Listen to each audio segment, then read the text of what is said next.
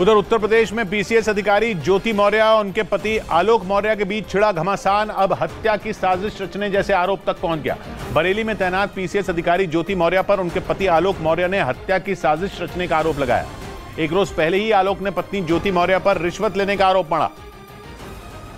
और अब पंचायती राज विभाग के कर्मचारी आलोक मौर्य ने अपनी पत्नी ज्योति मौर्य पर उनकी हत्या की साजिश रचने का आरोप लगा दिया। उनका यह भी आरोप है कि ज्योति मौर्य की इस साजिश में उनका दोस्त भी शामिल है। ताकि उन दोनों के लिए आगे का रास्ता साफ़ हो जाए। मेरी पत्नी से मेरी जान लेना चाहती हैं। मुझे सिर्फ़ फ़ोन करके कही है कि ये जाँच सब रुकवा दो नहीं तो तुम्हारी जान चली जाएगी। यही नहीं आलोक मौर्य ने आरोप लगाया कि ज्योति मौर्य के इशारे पर उनका भाई सचिन मौर्य उनकी जान लेने की फिराक में है जिसकी वजह से उन्होंने यूपी के प्रयागराज के धूमनगंज थाने में इसकी रिपोर्ट दर्ज कराई। हालाँकि आलोक मौर्य की पत्नी और पीसीएस अधिकारी ज्योति मौर्य ने आरोपों को गलत बता दिया। और आलोक मौर्य ने अपनी पत्नी ज्योति मौर्य को पढ़ा लिखा कर पीसीएस अधिकारी बनाने का दावा किया। एसडीएम ज्योति मौर्य के पति आलोक मौर्य उत्तर प्रदेश के प्रतापगढ़ में पंचायती राज विभाग में कर्मचारी हैं। और 2010 में उनकी शादी वाराणसी की रहने वाली ज्योति मौर्य के साथ हुई थी। 2015 में उनके जुड़वा बच्चे भी हुए। मीडिया से बातचीत के दौरान आलोक मौर्य ने बताया कि ज्योति आगे की पढ़ाई करना चाहती थी, जिसके बाद वो उन्हें लेकर प्रयागराज चले आए।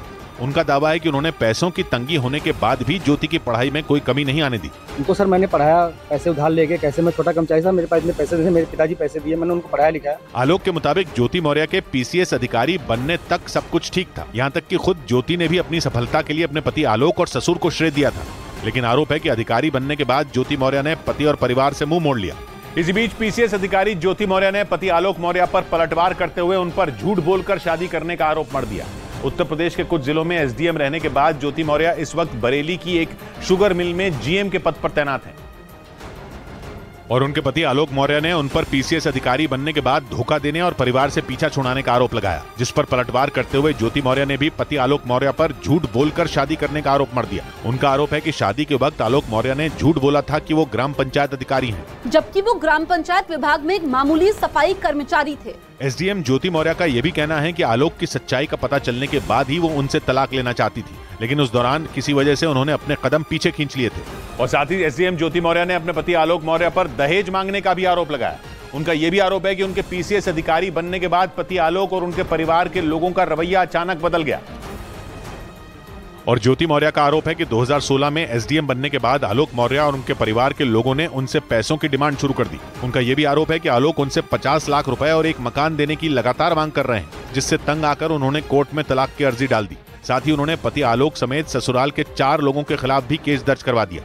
दहेज उत्पीड़न का अ, मामला सर झेल रहे हैं सर हम। हालाँकि आलोक मौर्य ने अपनी पत्नी ज्योति मौर्य के लगाए गए सारे आरोपों को झूठा बताया। उनका आरोप है कि ज्योति उनसे पीछा छुड़ाना चाहती हैं और इसी वजह से वो लगातार उनके और उनके परिवार को परेशान कर रही हैं।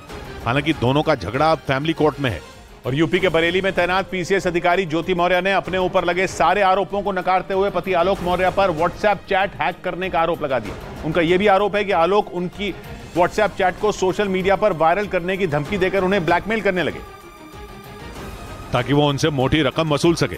ज्योति मौर्य का आरोप है कि आलोक ने उनका व्हाट्सएप हैक किया और सारी चैट अपने मोबाइल पर ले ली। आलोक मौर्य ने गलत तरीके से मेरा मोबाइल और व्हाट्सएप हैक किया हुआ था। पीसीएस अधिकारी ज्योति मौर्य ने यह भी इल्ज़ाम लगाया कि व्हाट्सएप चैट को सोशल मीडिया पर वायरल करने की धमकी देकर आलोक उन्हें ब्लैकमेल करने लगे। और उनसे एक बड़ी रकम की डिमांड की। आरोप है कि मना करने पर आलोक ने उनकी चैट सोशल मीडिया पर वायरल कर दी।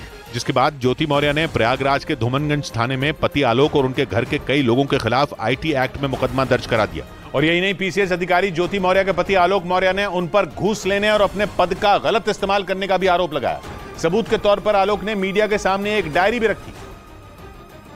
और आरोप लगाया कि इस डायरी में उनकी पत्नी ज्योति मौर्य हर महीने वसूली के ज़रिए मिलने वाले लाखों रुपए का हिसाब लिखती हैं। डायरी में लिखे हिसाब किताब के आधार पर आलोक ने दावा किया कि ज्योति ने हर महीने छह लाख रुपए अवैध तरीके से कमाए। प्रयागराज में पंचायती राज विभाग में तैनात आलोक कुमार ने मीडिया में जो डायरी दी, उसमें हर पेज पर ऊपर और नीचे स्वास्तिक बना दिखा। उसके बाद उस पर हर महीने कहाँ से और किस काम से कितना पैसा मिला, इसका हिसाब भी लिखा नज़र आया। आलोक का दावा है कि यह लिखावट ज्योति मौर्य की ही है। आलोक ने इसकी शिकायत होमगार्ड मुख्यालय में की, जिसके बाद मामले की जाँच के आदेश दे दिए गए।